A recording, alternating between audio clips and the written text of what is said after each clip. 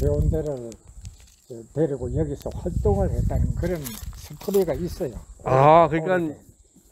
여기 동양정사가 아니고 이 골짜기 이 어디선가가 그렇죠, 요 가운데. 그래서 예. 그러니까 여기도 그런 활동을 했던 하나의 그 것이 되는 거죠. 예, 주 무대가 예, 되겠네. 예.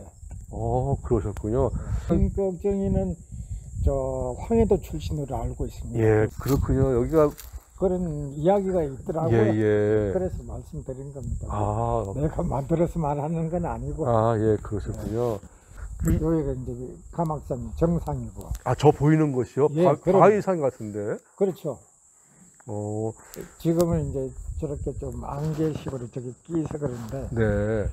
이 여기 지금 보니까 이 대웅전 저 건물도 상당히 오래된 것 같고 일반적인 단청이 아니고 거의 자연 상태에 있는 것 같아요. 예, 그래서 그리고 이제 이 저렇게 나무가 세운 거는 예. 그 나무 너무 낡고 그래서 새로 했습니다. 아, 그렇군요.